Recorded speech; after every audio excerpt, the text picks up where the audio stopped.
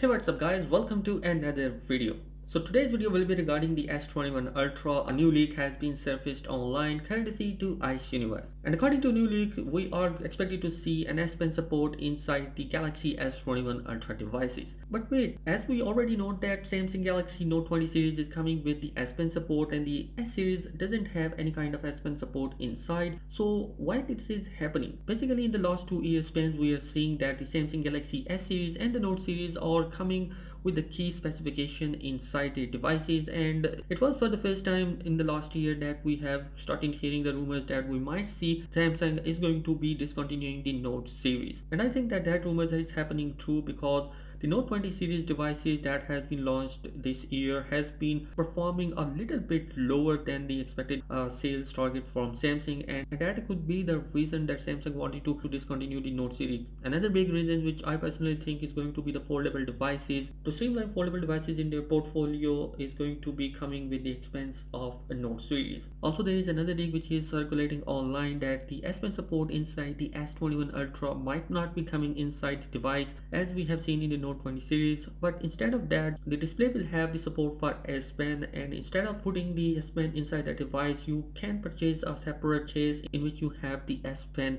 uh, bedding so guys uh, these are some of the latest leaks which are coming inside. Let me know your thoughts. What do you think about the S Pen support inside the S series? Will it going to be a game changer or, or will you wanting to have a note series devices which are coming with the note series let me know your thoughts in the comment section below. And if you are new here on the channel do consider subscribing it. And also if you think that this video deserves a like give this a likes up and share with your friends. Thanks for watching this video.